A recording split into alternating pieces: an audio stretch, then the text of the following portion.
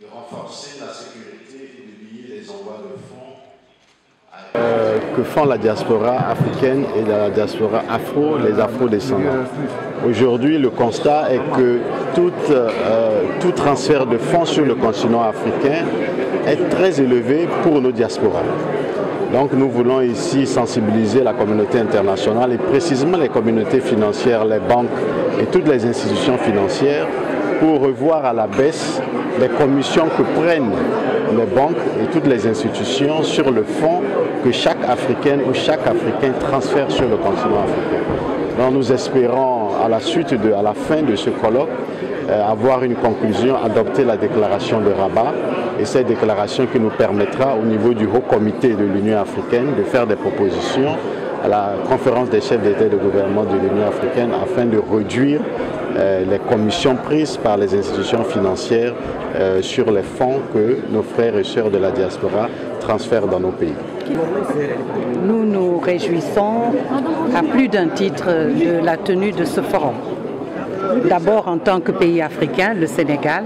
mais en tant que président de l'Union africaine, euh, vous le savez, le Sénégal porte l'Union africaine depuis plus d'un an et nous allons bientôt euh, porter, euh, rendre le, tablier. Mais ce qui est important dans ce forum, c'est que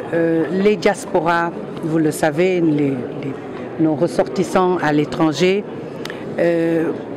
paient le prix le plus fort de ces transferts qui euh, augmente de jour en jour, on l'a dit tout à l'heure. Malgré la crise euh, sanitaire internationale que nous avons connue en 2020, ces transferts n'ont pas baissé. Et pourtant, euh, le poids des économies a été bien ressenti par cette diaspora hein, partout où elle se trouve. Ce qu'il faut constater également, c'est que plus euh, le poids, le volume de, cette, de ces transferts de fonds de cette diaspora augmente, moins elle profite à l'Afrique. Il est donc vraiment de manière pertinente aujourd'hui d'aller vers euh, des solutions, comme on l'a dit tout à l'heure, pragmatiques, qui vont nous permettre de réfléchir euh, de manière concertée à tous les instruments qui pourront nous permettre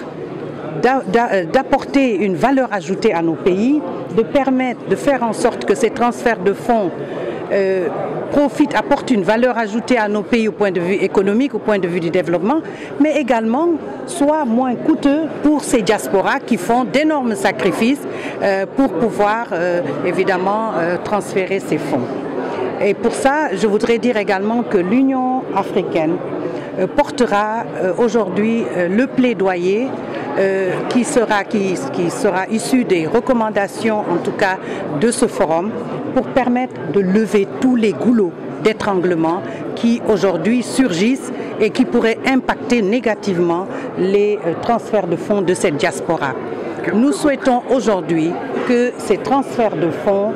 profitent à l'Afrique et que faire de cette diaspora également des, euh, des vecteurs de développement de nos pays en développement.